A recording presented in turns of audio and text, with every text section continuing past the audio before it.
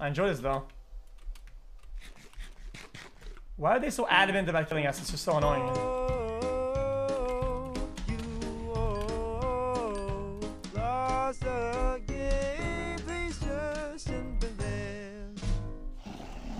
Dude, who's...